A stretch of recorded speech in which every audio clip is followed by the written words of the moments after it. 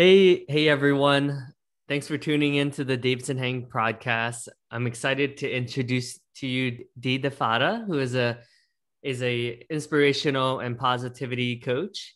And um, so, so I know you're the founder of a dose of positivity. Um, so we're going to talk about your book. And um, I also read on your profile that you've you've had uh, 49 years of life and 20 seven years living with MS um, and that you've been working in the insurance industry for a while. Uh, and you do a lot, you do private and group coaching. Uh, you also do educational programs, uh, speaking engagements, and you help people redefine their circumstances so that they can break through their barriers and achieve boundless potential. And you also teach fundamental strategies necessary for people to free themselves from limiting beliefs of the past and gain the confidence and courage to get realigned with their purpose so that they can redesign their path forward. Oh, that sounds even better coming from you. You're so nice. so I, I wanted to start off by reading um, just like um, from on your Amazon page, which is like, isn't that such a cool feeling to just search yes. yourself on Amazon and see you pop up on the results? Like it's I still a, can't believe it. yeah, it's so cool. Um, and congratulations. I saw that you're number one in bestsellers in health and spirituality, and then also number one in uh, inner child and personal transformation, and number two in, in personal transformation and spirituality, which Ooh, is not bad. I mean, that's awesome. I'll take it, right? Yes, exactly. uh, but I wanted to start off by reading um, a bit. So it says, so you said uh, what does it take to foster a grateful heart, to find a sense of peace, and to seek balance in the chaos? In the midst of all the challenges and trials life can throw at you, it can be hard to slow down and take that vital beat, the one that lets you exhale, to reflect, to refocus. Enter the PositiviDee method. In this lovely day to day book, author Dee DiFatta makes it easy. Simple thoughts and ways of framing your outlook are offered in daily bite sized chunks. Just open to the page and read, pause, reflect, and breathe. Then move on with your day, empowered to respond to whatever life throws at you. I feel relaxed already. yeah, it's I love it. Um clearly, you know, you have have some some adversity in your life, right? Yes. Um and it's always inspiring to see because I, I do think not a lot of us um i think the pandemic has helped us kind of like have a little glimpse of like just taking things for granted. Mm-hmm. you know but you had that even prior to the pandemic right? Because of what you've gone through because of uh, ms right? Yeah ms has been a long journey. 27 years is a long time. And yeah. uh, i was i was grateful. You know, I, I was definitely grateful because the neurologist told me in the very beginning it was either an inoperable brain tumor or multiple sclerosis. I'm like, okay, I'm good. Thank you. Bye. Mm. I'll take this. I don't know what it is, but I'll take it. Yeah. So yeah, it was, I was okay with it, not even knowing what it was, but I wasn't okay with it. You know, mm. I mean, it was the day before my 22nd birthday. That was not the present I was looking for. You know, yeah. it wasn't expected, it wasn't anticipated, and it definitely was not wanted. mm. So I was a I was a go-getter. I you couldn't stop me. I was on the run all the time and I was an overachiever and I was stressed out. I was a perfectionist and I just wanted to be mm. a people pleaser. And I'm like, yes. And all of a sudden I was stopped. It's like, oh crap, what do I do now? And it took me a long time to get the message. I didn't quite get it. You know how people have that like aha moment, like, okay, I'm mm-hmm. stopped in my tracks. I really need to think about this. What was I doing before I was diagnosed and how can I move forward? Yeah, mm-hmm. no. I I I'm I was born a stubborn person. People call it resilient. I am resilient, but I'm also stubborn. it took me years to get the message. I'm like, mm. oh, gotcha. Just glad I caught on when I did because I did not want to be stopped in another way. that's that's funny. I've never heard anyone say uh stub resilience is stubbornness but yeah i would say i'm i'm both right like yeah. my, i would i think my wife would would agree that you know i can be quite uh stubborn you know yeah, I mean, you can definitely spin stubborn to the positive and be like, yeah, I'm resilient because I am resilient. I mean, right. that's the positive version of stubborn, but I can also be stubborn. Yeah, yeah, yeah. No, that that's a good uh acknowledging. I think once we acknowledge something, we can be free from it instead of pretend like it doesn't exist. I have been doing that all of 2020. All of 2020 for me, and I finally figured out what it was. I owned it. I owned hmm. the good, the bad, and the ugly. I allowed myself to feel it, even though I didn't want to. I forgave it and I released it. I'm like, oh, thank you. So, hmm. but it's never a one and done. It's a constant. Hmm. You know, it's just like evolution. It's just like transformation. It's just like living. It's not a one and done. yeah, that, that's a good point. I think some of us think like, oh, I'm i I'm done with this. Like, this it'll never phase me again. But things come up. Like people get triggered, right? Like, oh yeah, yeah. Every day it, it's a process, right? I mean, I think every day gets a little bit easier, right? But it never truly grows that way 100%. No, and actually, I've learned to befriend that stuff too. I'm like, you know what? Okay, what are you trying to tell me? obviously you're here for a hmm. reason. What story are you trying to tell me? I'm not going to listen to the negative stories. What lesson are you trying to teach me? Hmm. So I've learned to um, not send it away altogether, not completely and totally like stuff it in a box or release it, but I've allowed it a voice. Hmm. I'm like, okay, you can come into my life. It's okay. I get that. Just tell me why. You know, why are you here? And I lean hmm. into that and I reflect and I'm like, oh, okay, this is because of this emotion or what happened here. And, and I haven't mm. truly released that yet. Like I feel tight. Why do I feel tight? mm. So yeah. yeah. I like I like what you said about like being curious about it and mm. then giving it a voice. There's a at least there's some uh, a way to dealing with it instead of um, letting it consume us, right? Definitely. So that that's really powerful. Wow. Yeah, and it's not just our stories and what triggers us, but it's every part and piece of our body has a voice, and we don't mm. even realize it. I didn't realize it. You know, I mean, think about it. When you push yourself too hard and your back hurts, why does your back hurt? Because mm. you pushed yourself too hard. But do you ever yeah. ask your back, why are you hurting me right now? What do you want mm. from me? Or when you get a headache, do you ever ask your head, why do you hurt right now? What are you trying to tell me? Mm. No, because we think that we have all the answers up here and we don't. Interesting. Yeah, so you're very in tune with your your body now, right? Like you said, yes. because maybe in the past you weren't as uh, aware of like why your back may be hurting, and mm-hmm. so you're so you think that because you're such a workaholic and because you were such a go getter, you think that it actually affected your physical back. Oh, definitely. I mean, I would push through everything. There was no hmm. resting, relaxing um, there were no revelations to be found because I never shut up long enough. you know what I mean? Mm. I never actually asked the question, why are you bothering me? And listened for the answer. I just yeah. powered through. And powering through does not help, you know. But at the time, I didn't love myself enough to give myself the self care that I needed. You know, mm. I was all about you know, bringing smiles to everybody else and making everybody mm. else feel good and being a people pleaser. And mm. I was all about them. Like I had always learned to, um, you know, treat other people as you want to be treated. And I treated people great. I treated myself like crap. I'm like, wow, it took a long time for me to find the love for myself. I mm-hmm. really had to go digging for like why why does this not exist for you? What is your issue? Why can't you love yourself right now? Hmm. And there were a lot of underlying, you know, limiting beliefs and self-doubts and fears and worries that I had to work through. And I did. And I'm proud of myself because had I not done that, this book never would have been born. mm-hmm. Yeah, and it's interesting because I'm sure others have always loved you, right? Like your friends, your family, your coworkers but it, it it starts from within right? So others could love us but we won't be able to receive it. And i know that's one of your first quotes um, in january.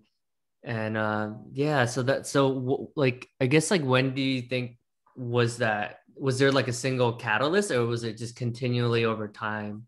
When when was the time I stopped loving myself, or when was the time I started loving myself? Again? Oh, I was asking starting, but we could talk about stop too. I mean, that, I mean, that's a really deep topic. Yeah. yeah. Um, when did I start loving myself? It's really funny. I think I started loving myself in 2020, in August of 2020, Wow. when I was doing all my inner work and trying to figure out why am I here? What is my purpose? Like I've I've been a perspective and positivity coach, but I couldn't understand what the universe was trying to tell me. I'm like, what do you want from me? I just I couldn't understand. I had this major block and I finally got it. I'm like, oh, you want me to go within and, and love myself. Mm. Ah, Hmm. because I was I was always there. I was always consistent. I was showing up every day on Facebook and and Hmm. posting and being there for other people and answering their questions. And I was never there for me. I was never there. I never put my authenticity out there because I didn't even know who I was. Hmm. I really had to go through the the past, but not wallow in it, not, you know, bury myself in it, just ask the why questions and things that used to trigger me where my shoulders would go up and I'd be like, oh, why did I do that? It's Hmm. like, no, I have to be okay with this, you know, and that taught me this. It was a Hmm. whole thing on forgiveness. So Wow. when you read Transformation 2020 and the chapter that I wrote on forgiveness, my letter of forgiveness, Mhm. it'll take you a whole different place Hmm. because I managed to transform everything from what I thought it was to the lesson and blessing it actually was and what I've learned from it and been able to move past. I'm like, Hmm. oh, that's what that was about. So there was one day in particular when I I lost it. I it was an ugly, crying, snotty, like surrender festival that I was right in front of my husband at the time and he looked at me like, wow. He goes, We've been together for almost 24 years and I've never seen this side of you. He goes, Thank you for finally sharing. Hmm. I knew it was in you the whole time. You didn't know it was in yourself. I'm like, Hmm. and from that moment forward, I started posting a very authentic stories, like my own personal stories on Facebook. And Hmm. people were like, oh my gosh. And I think that by sharing my authenticity, it gave them permission to be Hmm. themselves and go through their own transformation journey. So Hmm. yeah, a lot of healing. Wow, it's it's interesting how our partners always see right see it, but it takes time. Like sometimes, like I guess, like you said, our resilience slash stubbornness is like, you know, because my my wife's always like, yeah, I've been telling you this like the last Yeah. five years, and then Uh-huh. I had to hear it from someone else. Oh yeah, definitely. yeah. Yeah, it took almost 24 years, Davidson. Almost 24 years with my husband. He's like, duh, you've been this way the whole time. That's funny. yeah. it's it's it's hard right when it comes from your your partner it's hard to to be like take it at face value or Mhm. i don't know it, there's just a lot of resistance right Like- Oh, that's a good word. There's a lot of resistance in our lives, period. yeah yeah So, yeah. And the more you resist, always ask yourself, why? Why am I resisting this? Because Mm. chances are you're resisting it because you're this close to the truth. You're so close to Mm. the truth. It's right there, but you can't see it because you're blocked. right Yep. Been Huh. through that too. that's interesting yeah. Um it- you know it's funny i think august 2020 was also when i started loving myself too i think. Because I think it's it was like far enough into the pandemic where I had so much uh, time to myself, so or with myself that I was like, I better learn to love myself, or else I'm gonna, or else it's not gonna go, you know, because I would distract myself prior, like you said, Yep. being of service, like helping, volunteering, like you said, mm-hmm. posting positive quotes every day and stuff like that, and then, and then people saw like people that really knew me was like, dude, like you got to take some time to just relax and chill out, like you don't have to be positive all the time. Like it's like I know you're having a bad week. Like you don't have to pretend like it's a great week, you know. And then I was like, "What do you mean? Like I'm fine." And they're like, "No, you're not. Like I can tell, you know." so they're like, "You're being fake because like it's okay to have a bad day once in a while, you know." Yeah. And I was like, "Oh my god." yeah. That's good. That's actually, it's funny that you said that because that was one of my biggest fears putting this book out there, Your Daily Dose of PositiviDee. I'm like, oh my God. I said, I don't always have a good day. I said, what happens now when people see me and they're like, you're supposed to be Miss Positivity? I'm like, listen, I'm going to be real authentic. Today is not a good Yeah. day. yeah, yeah. Yeah. I'm all about, you know, and that's the whole thing that your daily dose of positivity is not about rainbows and unicorns. It's about authenticity and vulnerability and being you. You know, who are you? What do you want out of life? Really, it's time to think about that. You know, not who you think you should be, not mm. who other people want you to be, not, you know, what you think you should be doing with your life. There's so much should. It's like no more should. Mm. No more should. Just be. Be in the moment. Mm. Be you. Be vulnerable. Be authentic. There's so much to be mm-hmm. said for that. Yeah. I, I mean, you're clearly someone who has done a lot of introspective work, right? It's not always easy, it's not always the most fun, but I think eventually we will, we all have to, you know, we all should um, take a, a deeper look, right? Or else we'll wake up one day and, and be like, oh my God, I'm not even happy at this job or this relationship or even with myself. So until we find out you know what makes us tick and be really curious about that i think it's hard to truly uh, it, it's hard to not get phased by other people's mm-hmm. suggestions and whether it's parents or your spouse or your kids like it's hard not to get influenced by what our culture tells us or what society or your neighborhood right it's like oh you know everyone is getting married at this time or like oh i'm this age i should i should have a kid by now but you know it's like well what do you actually want you know? Exactly. Well, think about the stuff that you learned growing up. Think about what you were conditioned to believe. Like for me, it was like you had to work hard. You had to work hard all the time. And if you weren't working hard, you weren't doing enough. I'm like, oh, yeah. yeah. you know, no pain, no gain. Really? It doesn't have to be pain. It doesn't yeah. have to be pain. It's like all these things that we learned are limiting, they're limiting us. Mm. And they're not even ours. They're not even our beliefs. We just inherited them from our parents. And one of the biggest things that I try to do is I try to help people heal their ideals. And what I mean by that is all the old conditioning that you grew up with, who has, you know, made you who you are today, but trying to look at that through a different lens and be like, where did this come from? Hmm. Like, yes, you believe this, but why? You know, where did you, who did you learn this from? Is mm-hmm. that really serving you? Is that something that you believe, or is that something mm-hmm. that you were taught to believe because somebody else believed it? Yeah. So yeah, it's a lot of uh, a lot of healing.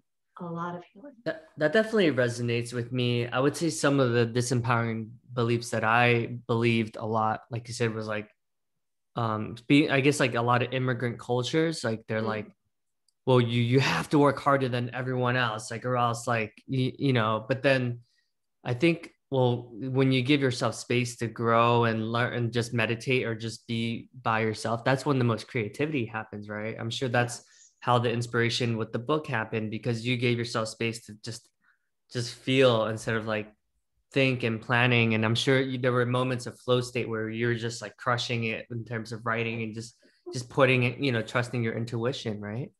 Yeah well this book it's funny that you brought that up because this book was started in March of 2019 with a different publisher, with a different everything. Oh. And uh, I had created all these quotes, and I'm like, okay, I'm just gonna do like 30 quotes, and or I didn't know how many I had at the time, but I'm like, yes, I want to make an impact. And I sent all these quotes to this publisher, and she came back to me and she goes, you know, she goes, this is this is great. She goes, we can do it as is. She goes, but she goes, maybe you should add some insight. You know, like how did you come up with these quotes? Because people are gonna want to know more. And I'm like, hmm. okay. Mm. So, you know, I went back to the drawing board and I started writing all my stories and my insight, whatever, and mm. sent it to her. And she goes, Well, this is great, but, you know, maybe we should add in some questions so that people can like ask themselves and go deeper. I'm like, Oh my God. So I started writing these questions and I sent them to her. And then she's like, yeah, we can do this, but I'm like, that's it. I'm closing the book on the book. this is done. I have a full hmm. binder of everything that I wrote, and I just closed it. And I'm like, we're done this is not the time. I know this is not the time. I'm not feeling huh. it anymore. I'm just done. I'm frustrated. And when I'm frustrated, things don't work. Mm. So, um, and I'm really proud of myself for closing the book on the book mm. back in March of 2019 because I wasn't ready yet. Mm. It was not the divine timing. I have allowed the universe, God, spirit, whatever you want to call it, to guide me on this journey.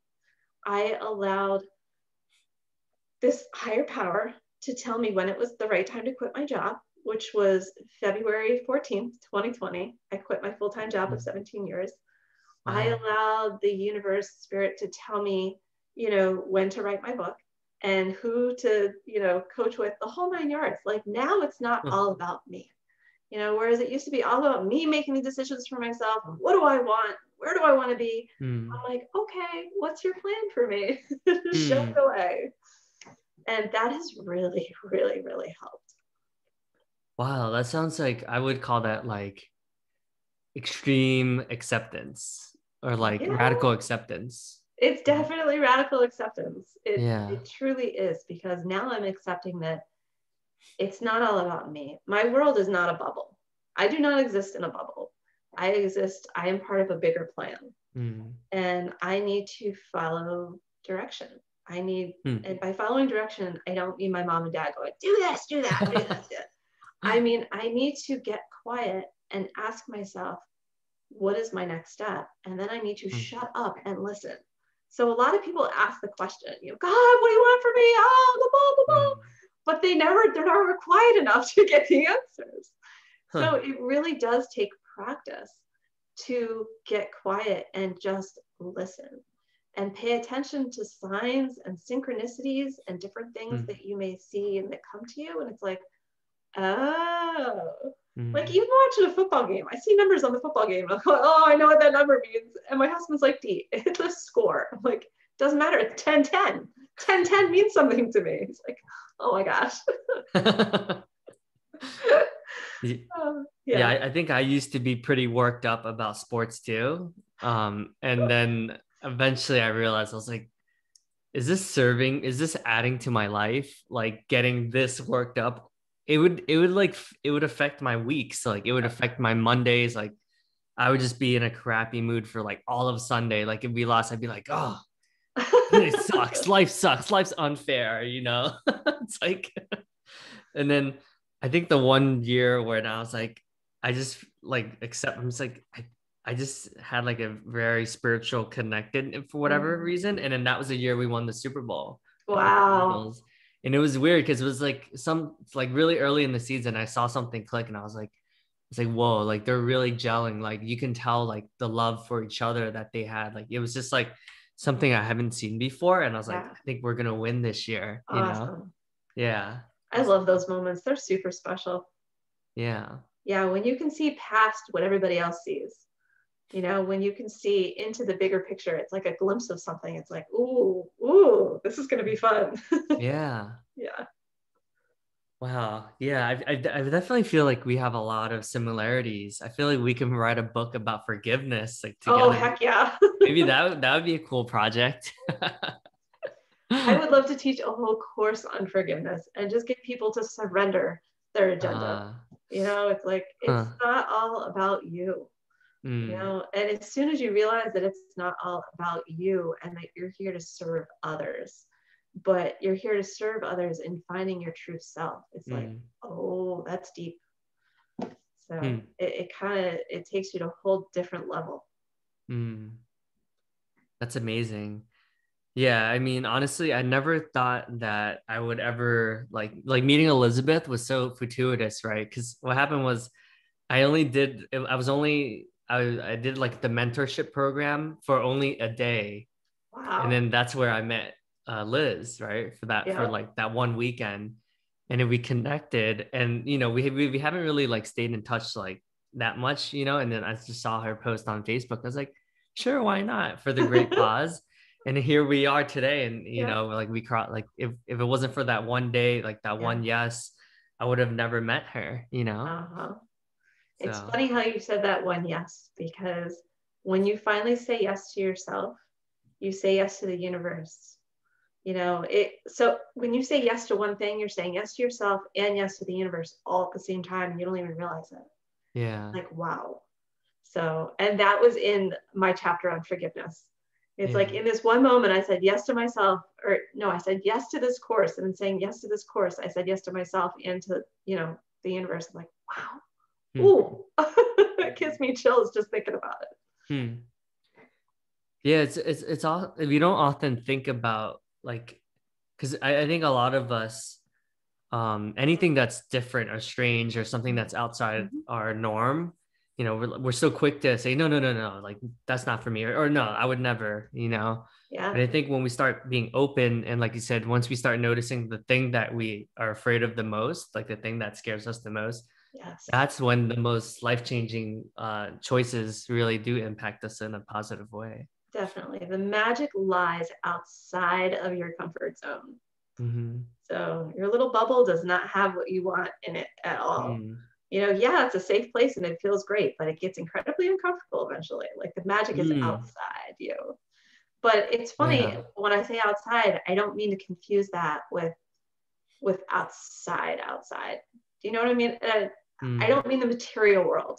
Mm. I mean, it's outside you in in the bigger spiritual picture.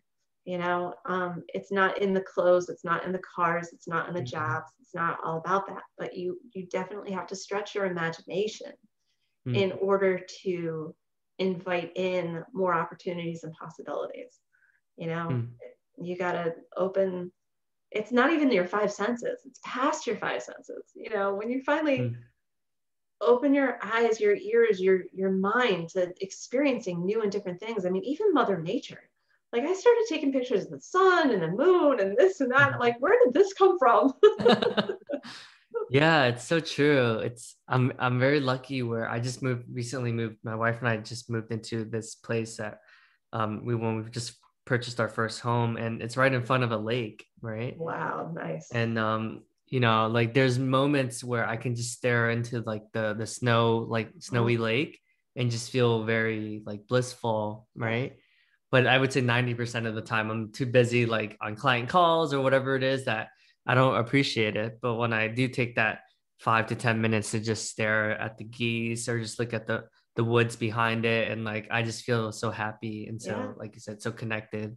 exactly. See, connected. That's it. It's all about being connected. You're connected to you're connected to something so much bigger than you.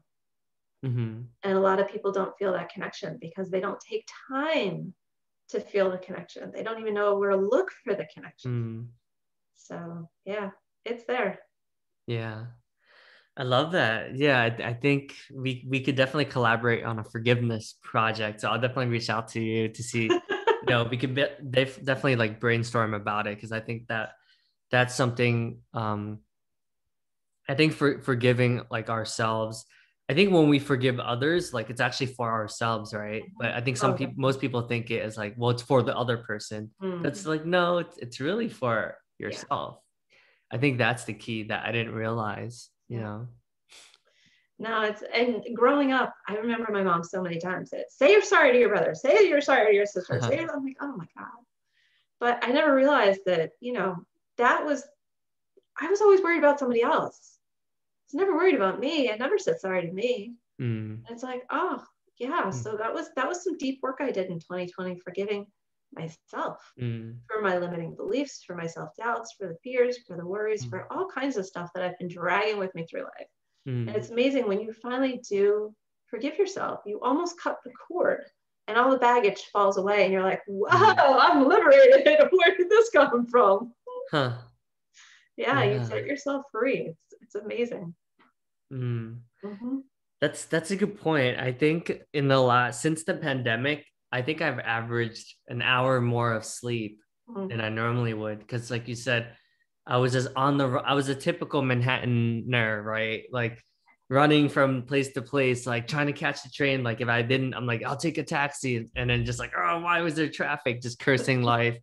And then, you know, even if I was like one minute late to a client meeting, I would be like, I'd be so hard on myself. I'd be like, Davidson, you're such a failure. You have no integrity. What's wrong with you? It was like the worst. Wow. And then, you know, since the pandemic, I'm like, whoa, like just giving myself space to sleep Yeah. and then not having to wake up at 5:30 every day. It's like it feels great. yeah. Well, listen, just so you know, I, I listened to everything that you said about what you used to tell yourself in Manhattan. Uh-huh. and I wrote about this. I think I wrote about this in my my daily dose of positivity. Um, it, this is so important. If you get nothing else from this conversation, get this: what you think, you create, and what you speak, you affirm. yeah. And it's like, huh? when I finally learned that, I'm like, oh, oh, I need to change my world. I need to change my world. Yeah. Yeah. Because that's how I would bash myself. I would say things mm-hmm. like that to myself. I'm a failure. I'm not enough. I can't believe I screwed that up. What were you thinking? You know, you can't walk. You have MS. Oh my God, no more. No more. Mm-hmm. You will never again hear me affirm that I have a disease. Hell no. I'll tell you, I was diagnosed with it 27 years ago. Mm. And then I will tell you that I have redefined it mm. as modified swagger and motivational spitfire. And I will also tell you that I'm healing. And I'm not even saying I'm healing anymore. Now I just tell people I'm healed. And they're mm. like, but you're walking with a walker. I'm like, yeah, but I'm healed. On a different level, wow. I'm healed. And I will get there. I know I'll get there because I'm putting out to the universe that I'm healed. Wow. Yeah. That's deep. Yeah. Mm-hmm. I there's that's so yeah, I love that. That that's that's amazing. That's such a huge takeaway. Yeah. It's just a whole different shift. And that's what your daily dose of PositiviDee is all about. It's mm. about shifting the way you think now and just being open to a different perspective. Wow. Yeah. Yeah, I don't I don't think there's nothing else we could say. I think that's like the ultimate lesson right there. well, thank you so much, Dee. I really I want to acknowledge you for just your um your authenticity and just like you doing the work right it's it certainly shows um, just your ability to just be with anything that the world gives you um, not only make lemonade but be able to to have like one of the best stands in in the world right? Like world world famous lemonade. Um so i really really i'm so glad we crossed paths and you know like to thank um Liz and, and Dr. Dr. Davia, and you know, I'm so glad that, that the universe connected us. And oh, me too. Um, yeah, it's it's a beautiful book. Um, I I love like yesterday's event was so touching and really opened up my heart. And uh, yeah, I'm I'm so glad that um, you know we we we share so many similar interests and can't wait to see what else you create. Um, and excited to support you all the way. Excellent. Thank you so much for having me on the program, Davidson. You are such a special person and you have such a beautiful spirit. I'm just so grateful that you found your way to your authenticity because Aww. you shine so bright. Aw, thank you, Dee. Yeah, keep best. sharing your light with others. well, I'll, I'll, I'll link to your um all your what your your book, your website, your Amazon, all that good stuff. And if anyone is if anyone's curious, definitely check out her book. It's it's inspiring. Uh, the quotes are great, and uh, you can it, it'll help all of us with our daily practice, right? Because it's it's a yes. it's a low commitment. It's not like we're asking a lot. You know, just reading just ten to thirty seconds every day with the quote. You know. Yes. So, thank you, Dee. Have thank a great. You. And congratulations once again for being number one at number one in so many categories. And excited to see you continue to inspire and um, transform the lives of everyone else around you. Thank you so much. It's a wonderful place to be, and I'm truly grateful to have been chosen for this. Mm.